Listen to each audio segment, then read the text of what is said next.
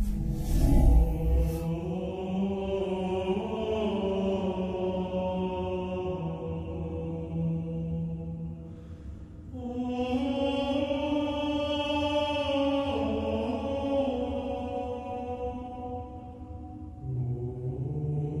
welcome to Castar Reviews. I'm Adam Castar, and we're continuing our look today at the Halo series with Halo 2. The funny thing is, Bungie never meant for Halo to be the franchise that it is today, or even the original trilogy going up to Halo 3, although I think the ending of Combat Evolved was a bit of sequel bait. But since Halo Combat Evolved was so successful, a sequel was already a foregone conclusion. As we'll see later in the review, Halo 2 fulfills the vision of the original team to expand on scrapped ideas for Halo Combat Evolved, but it still did have some issues in development. The game was heavily rushed because of Bungie's focus on online multiplayer with the fledgling Xbox Live, something Halo Combat Evolved never had to deal with. Like Halo Combat Evolved, I want to see if this game holds up to the age test, and is worth playing for more than just the lore. Once again, I'll be playing this off the Master Chief Collection, but with a twist.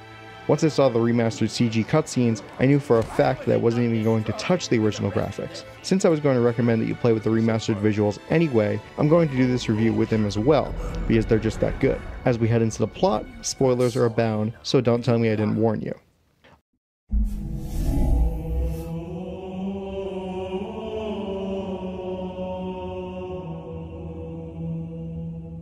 Our story begins recently after the ending of Combat Evolved, as you can see by the smoldering remains of Halo. We then find ourselves watching an elite standing before the Covenant Council. This elite was the commander of the Covenant forces that were stationed on Halo, and he is being held responsible for letting Master Chief blow it up. I may not have mentioned this in the last video, but the religious figures that the Covenant worship are the Forerunners, who built the Halo rings. They believe that activating the rings will bring them salvation. They call it the Great Journey. More on that later. The elite is then sentenced to death, but is first tortured by the brute chieftain Tartarus and then brought to the prophets the aliens and the floating chairs from before. The prophets, Truth, Mercy, and Regret decide to not kill this elite on the spot, but to make him the Arbiter, which entails going out on suicidal missions and doing their bidding. Essentially, their rationale is that the Arbiter will most definitely die in these missions, so they might as well put him to good use before then. Meanwhile, back on Earth's orbital defense station, Master Chief and Sergeant Johnson, who miraculously made it out of Halo before it blew up, are going to receive medals from the UNSC, along with Miranda Keyes, Jacob's daughter, who received a medal in her father's place. Stylistically, the way that Master Chief and the Arbiter simulcut together really accentuates how the events of Halo 2 affected both the UNSC and the Covenant. Makes sense, considering that by the end of this game, Master Chief has been upgraded to Deuteragonist of Halo along with the Arbiter. The ceremony is then interrupted by an attack from a small fleet of Covenant ships who are planting bombs and destroying multiple UNSC vessels. Master Chief finds one of these bombs and personally delivers it to a Covenant cruiser. He then heads to Earth with the newly promoted Sergeant Major Johnson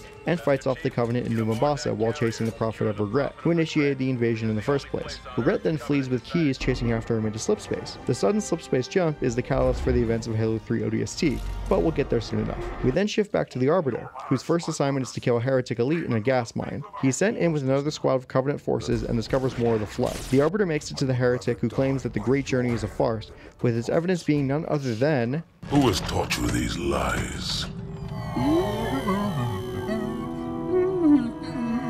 The Oracle.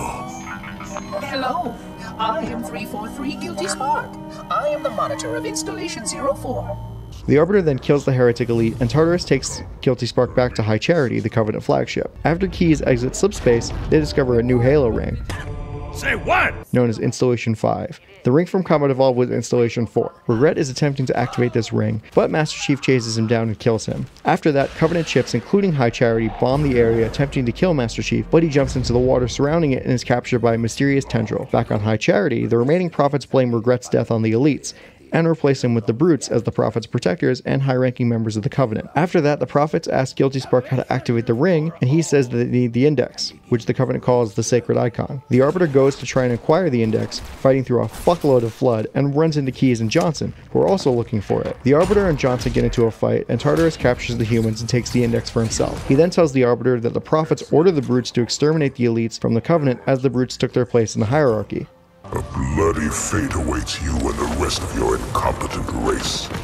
And I, Tartarus, chieftain of the brutes, will send you to it. And the prophets learn of this. That they will take your head when they learn. Fool. They ordered me to do it.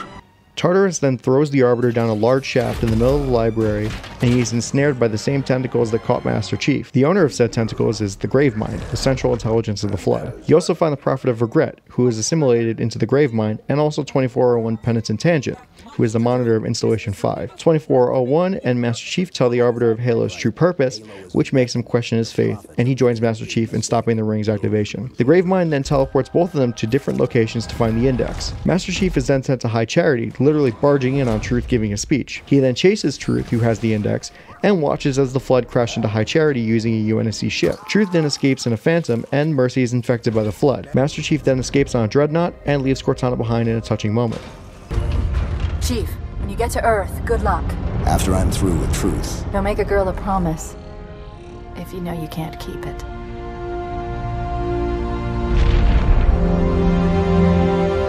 The Arbiter, meanwhile, was teleported close to Installation 5's control room. He, along with a bunch of elites, fight their way into the control room along with Johnson and a stolen Scarab. After Johnson blows open the door to the control room, the Arbiter barges in as Tartarus forces Keyes to activate the ring, since only a human can activate it. The Arbiter then kills Tartarus, and Keyes takes back the Index, but then Guilty Spark drops a bombshell. What's that? A beacon What's it doing? communicating at superluminal speeds with the frequency of Communicating with what? the other installations. Show me. Fail-safe protocol. In the event of unexpected shutdown, the entire system will move to standby status. All remaining platforms are now ready for remote activation. Remote activation? Then we cut back to the Dreadnought, where Master Chief has become even more blatant with the sequel baiting.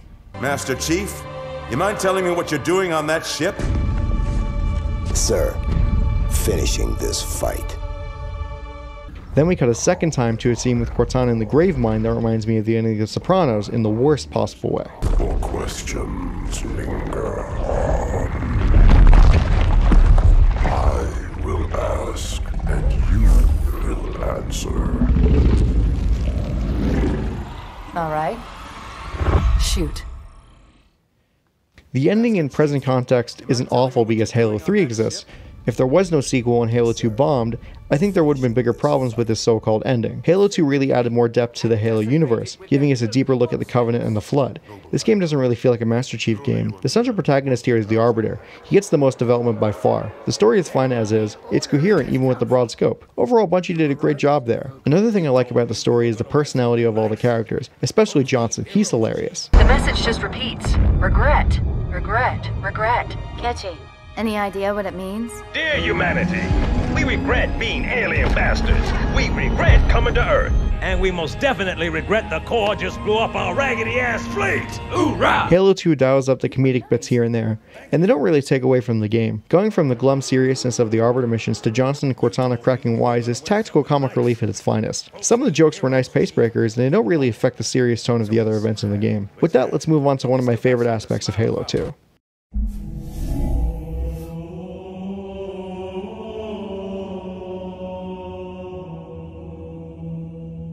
Holy shit, does this game look amazing, even compared to the anniversary version of Combat Evolved. I love this EG cutscenes and I wish they made a Halo movie out of them. This is my bar for pre-rendered CG graphics in modern games. Also, since Marty O'Donnell is back in the composer's chair, the soundtrack is amazing. Also, in the original soundtrack, there were some songs by recording artists such as Breaking Benjamin and Incubus, but for the remastered soundtrack, their songs are replaced with new tracks by Misha Mansour. Even more so than Combat Evolved, the feeling of going through an epic space opera is tangible when listening to these tracks. My favorite has to be In Part, mainly because of the context in which it's used and how imposing it is musically. Halo 2's level design is on par with Combat Evolved, mainly because I recognize a lot of the same level layouts. There's still some instances where there's some copying and pasting rooms, but a lot of the levels don't feel like as much of a grind as they did in the last game. There's no backtracking, thank god, and there's a lot more variety to these level layouts in addition to the grey hallways. As you heard previously, the voice acting is also great. Other than Miranda Keyes, her delivery is kind of stiff at times, but that doesn't really take away from the whole experience. The sound design aside from that is mixed. I had to get used to the new remix sound effects for all the weapons, but it did grow on me. But if you're really attached to the iconic Warthog horn or machine gun turret fire, then you might be disappointed with the new offerings. Some of the weapons, like the SMG, sound like you're firing them underwater, and others just sound generic. Like I said, it's a mixed bag, but from that, let's discuss what people most want to hear about the gameplay.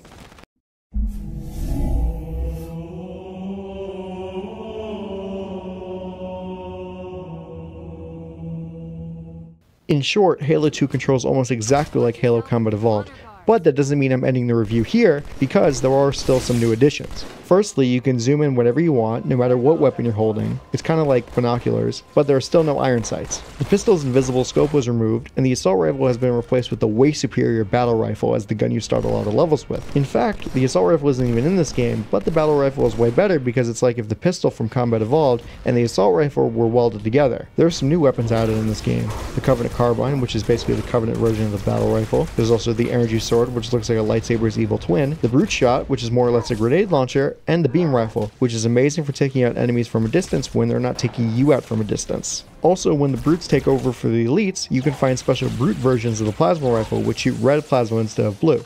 A nice little thematic touch there. Vehicles make a return and are still as fun as ever. There are two new vehicles, the Covenant Scarab, which I wish you could drive but you can't, and the Spectre, which is literally a Covenant reskin of the Warthog. Another new touch is dual wielding. Any small firearm can be combined with any other small firearm for twice the bullets, plasma, or needles, or any other combination. But if you melee somebody, then you drop whatever weapon you were holding in your other hand. The Arbiter adds active camouflage, which is great if you want to get past an annoying section, but beware it's limited and goes away if you fire a weapon. For the Master Chief, the flashlight is still limited in battery, but you won't need to use it as much, so it's a moot point. The health system has been reworked, there are no health packs, and your health completely regenerates if you wait long enough. So the checkpoint bullshit of Halo 1 is gone, but the difficulty is still alive and well. Jackal snipers and their beam rifles can suck it. I really hate these enemies. They can kill you in two hits, and you usually have no idea where they're coming from. The are about as annoying as ever, especially when they learn how to fucking drive, which is nonsense. Brutes can take an ungodly amount of hits and start charging at random points. I didn't feel as frustrated with Halo 2 as I did with Halo 1, but there were definitely some frustrating parts where the game sometimes just forgets to give you checkpoints and mission break. I thought they figured this out by Halo 1, I don't understand. God help you if you try this game on Legendary difficulty. Before going into multiplayer, I also want to talk about the skull system. Skulls are essentially gameplay modifiers that can give you things like infinite ammo or larger explosions. Skulls were in Combat Evolved as well, and I feel like they add some nice replayability to Halo games. Skulls can also make the game even harder for you masochists out there by making you have to restart the entire level if you die. Good luck with that. The multiplayer is more or less the same as Combat Evolved, but Halo 2's multiplayer is way more popular with the Xbox Live community. I'm sure the online multiplayer was revolutionary on its own, but now it's expected from a AAA shooter. I still think Halo 2's game modes hold up. Team Slayer and Capture the Flag are very fun, and you could even have multiple people on the same Xbox in one lobby. Regardless, multiplayer still isn't my thing. I enjoy these games for the story.